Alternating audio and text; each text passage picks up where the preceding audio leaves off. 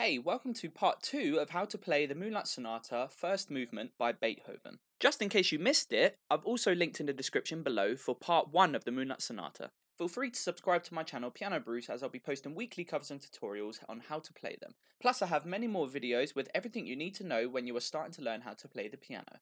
So let's get into this. In the last video we had finished off on the F sharp minor chord starting from C sharp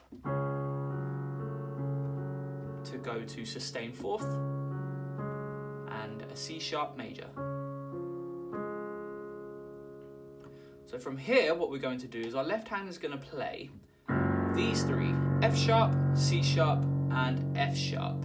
And our right hand is going to go F sharp and we're going to play through the chord going one, two, three, come back a step to A to go C sharp, F sharp and then go back another step carry on playing from here to do the little finger tap on C sharp up here.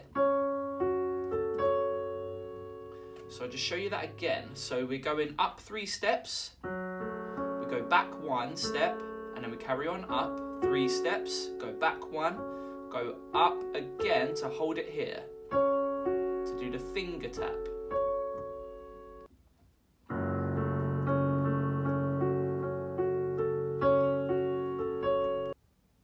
Now when we do the little finger tap, we're going to jump to F, C sharp and F, a whole octave up.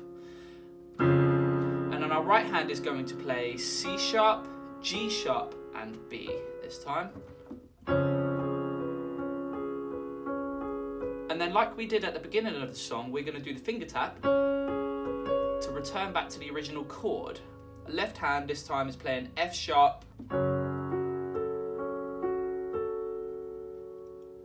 let's just do that section up to there.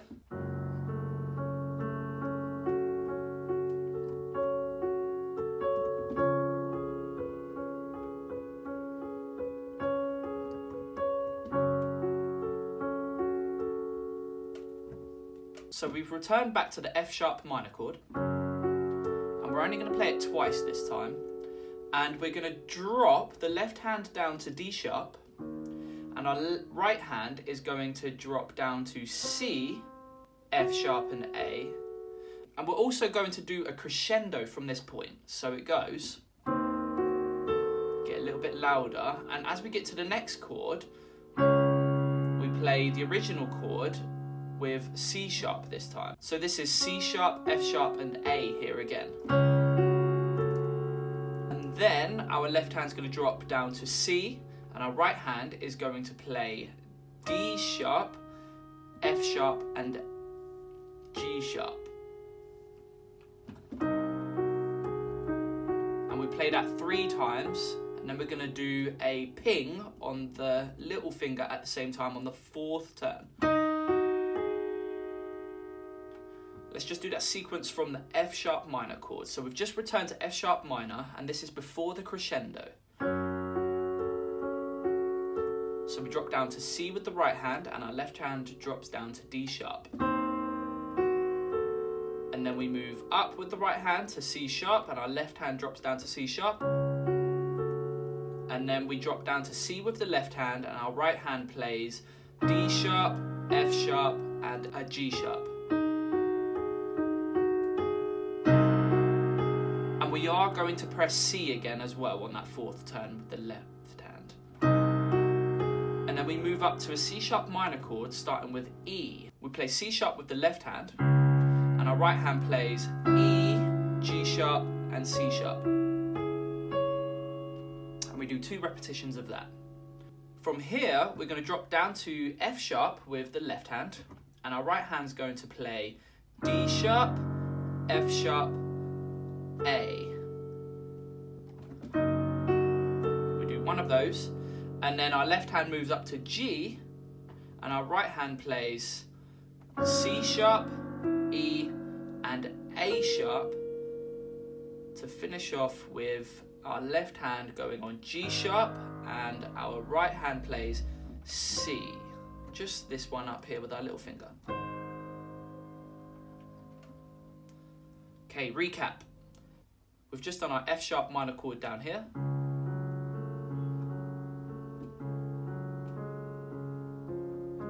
Rise up. Little ping, and then F with the left hand. Back to the original chord. Drop down to C with the right, D sharp with the left. Go up one.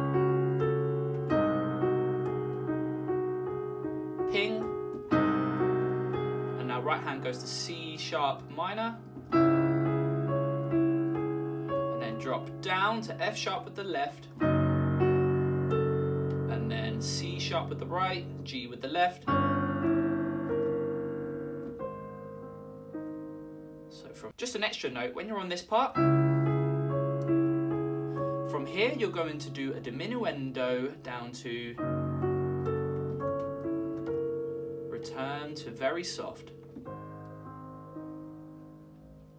And from this point, we're going to use our left hand only playing G sharp for quite a while. And our right hand is going to play C and then drop down to C with our thumb and then D sharp. So this bit will constantly ping off these two. It goes, and then our finger at the top is going to go to G sharp, C, D sharp, and then A, C, D sharp, F sharp, C, D sharp. So you can see this bit, it goes C, ping, G sharp, ping, A, F sharp. And then we're literally going to reflect what we did up here down here. So with our left hand, we're going to play G sharp, and then we go C, D sharp, and then we do G sharp, A, F sharp. So that little section there goes.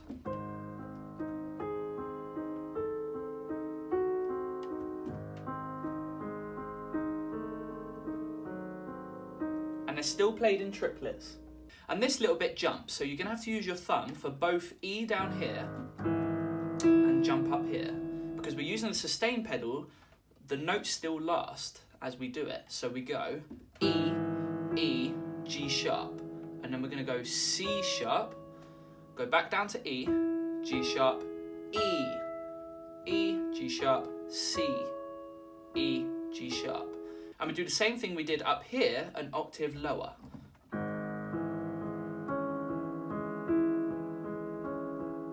Notice that I missed the first note. It goes left hand, treated as the first note.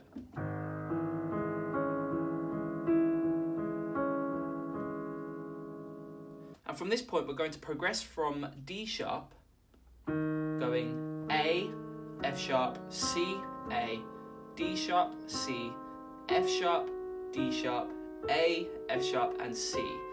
Can you see how it keeps reflecting? So you do these two black notes to these two white notes where there's a gap, do these two black notes where there's a gap, do these two white notes with a gap. But you do a kind of I skip, and then I come back one, I skip, come back one, skip, come back one, skip, come back one, using those same notes. And then all you have to do is match it up with the timing, so it goes one and two and three and four and five and six and. So we can treat this as kind of a six part area. One and two and three and four and five and six and. The next bit starts going from E, progressing through C sharp minor. E, and you go up to C sharp, G sharp, E, C sharp, G sharp, E, C sharp, G sharp, and E. Again, the same rhythm. One and two and three and four and five and six and. So when you get up to this E up here, you're going to go down to C sharp and G sharp to finish off. Again, one and two and three and four and five and six and. And from here, you're going to go C sharp and you're going to do the same pattern you did before from D sharp down here. So you skip up to G, E, A sharp, G, C sharp, A sharp, E, C sharp, G, E, A sharp. One and two and three and four and five and six and. Again, the same rhythm. And then from here we go F sharp, which is just the same octave as the C sharp we started on. F sharp, C, A, D sharp, C, F sharp, D sharp, A, F sharp, C, A, and then we finish on this D sharp up here to do the same pattern coming back down. And you want to just carry on this pattern all the way down until you get to the lowest C possible that's next to your left hand. So you go C, F sharp, A. And for every part of the rhythm, we're using our left hand to play on the first block. So we've got one and two and three and four and five and six and we go down to C sharp minor and we play with our left hand. And then we play again when we get to C sharp. One and two and three. And then the final one, one and two and three and four and five and six and then you carry on going down and you just flow through the song, still playing soft. And then the final chord, you go C, F sharp, A. So notice when I get all the way up to here, I don't press the left hand down. I just hold it down because it's a tie in the sheet music.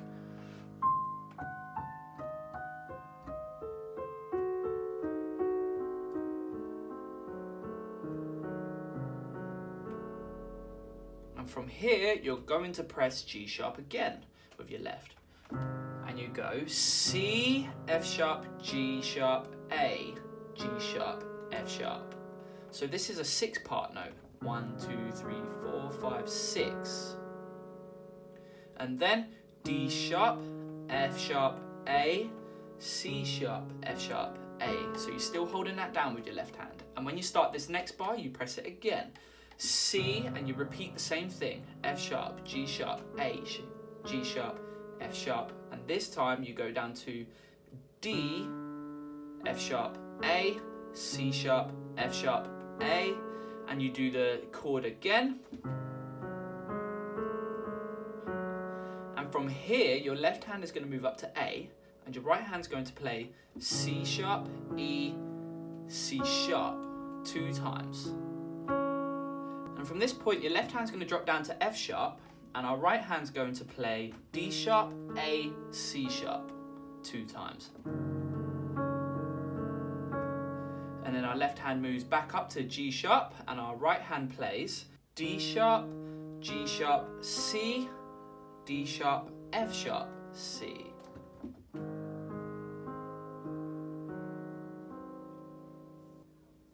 So let's just recap that whole section up to there.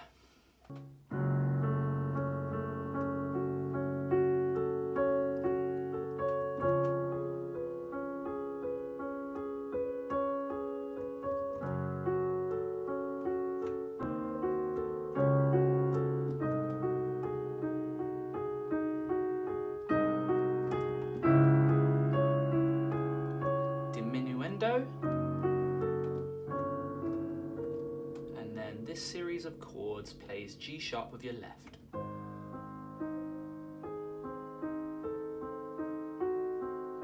And repeat that bit down here. And then E, E, G sharp. Same thing an octave down. And then you rise up.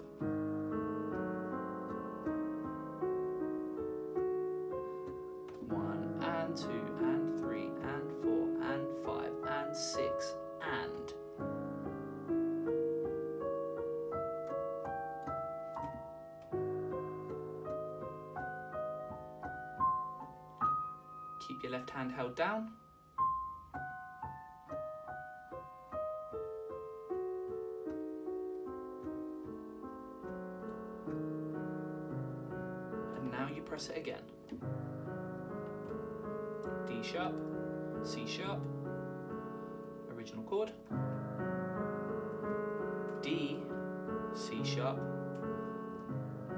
Left hand rises to A. Left hand drops to F sharp. Left hand goes to G sharp. Now we go back to a familiar sequence where we go to C sharp minor.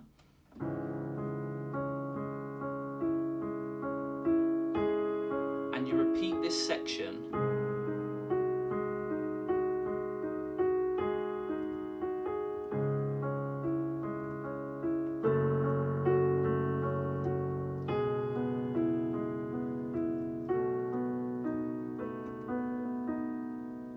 only up to this point.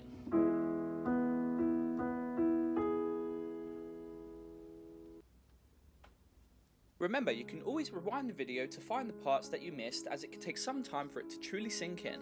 Playing the piano takes a lot of practice, so keep at it and you'll get there. Next week, I'll be teaching the last part of Moonlight Sonata, first movement. I look forward to seeing you there. See ya!